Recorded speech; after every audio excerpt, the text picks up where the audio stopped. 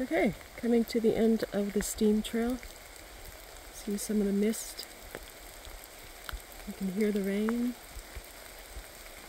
It's a beautiful day.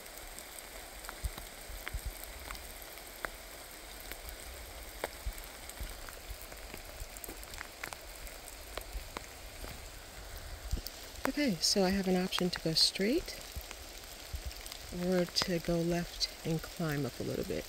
I believe going left will take us back to the orchard, the playground, the church, and then the parking lot. So I'm going to continue straight. If I would have turned left, I would have turned onto the fern trail. A little more light, you can see. I'm going to continue in that direction.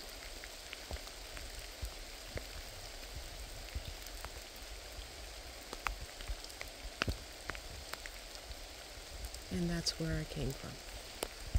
Okay, now I have multiple options.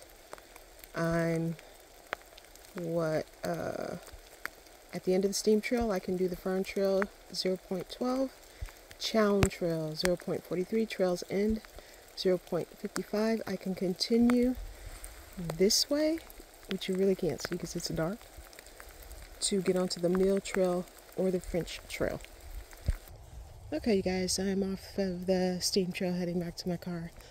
As you can see, it's getting pretty dark, so came out right at the right time. Hope you enjoyed the stream trail today. Hope you enjoyed the scenic drive with Jeff Bradshaw and friends. Love the people who love you.